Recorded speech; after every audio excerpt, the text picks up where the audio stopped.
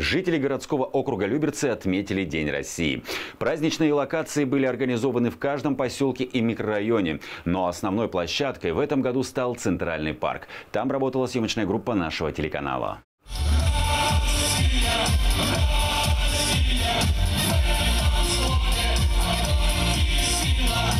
На сцене Центрального парка пестрят триколоры и звучат песни о любви к родине. День России – молодой праздник с большой историей. 12 июня 1990 года была принята декларация о государственном суверенитете РСФСР. С этого документа начался отчет новой истории России. Славься,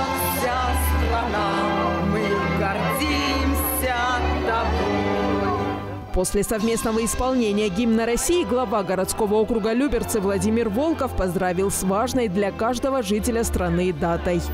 Этот день олицетворяет единство нашей страны, многоконфессиональной, многонациональной, самой великой страны на территории земного шара. Это самая большая территория, населенная народами, едиными народами, которых объединяет единая культура, единые ценности, единая история, богатая история. Сейчас наши бойцы, наши земляки защищают рубежи нашей Родины на территории СВО. Достойно защищают. Многие ребята уже награждены государственными наградами. И, конечно, мы их ждем домой, ждем с победой и не сомневаемся, что она будет и будет в ближайшее время. Посетителей Центрального парка ждали творческие мастер-классы, познавательные викторины и развлечения. Все это сопровождалось выступлениями танцевальных коллективов и артистов городского округа. Всем россиянам я желаю здоровья, желаю процветания, желаю, чтобы наша страна была самой-самой великой и оставалась самой великой страной.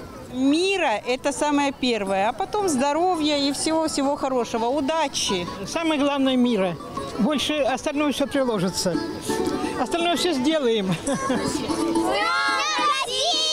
Луиза Игиазарян, Сергей Гвоздев, телеканал ЛРТ.